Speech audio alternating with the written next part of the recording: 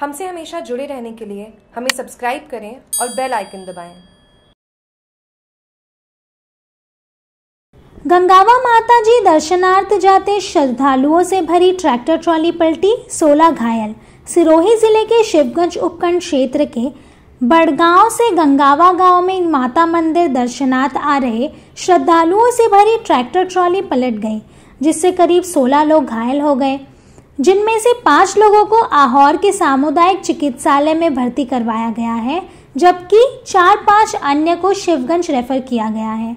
जानकारी के अनुसार शिवगंज के समीप स्थित बड़गांव से सोमवार सुबह जोगी जाति के लोग ट्रैक्टर ट्रॉली में सवार होकर गंगावा स्थित बायोसा मंदिर दर्शनार्थ आ रहे थे। इस दौरान डोडियाली से रवाड़ा के बीच अचानक संतुलन बिगड़ने से ट्रैक्टर ट्रॉली पलटी खा गई, जिससे उसमें करीब 16 लोग घायल हो गए।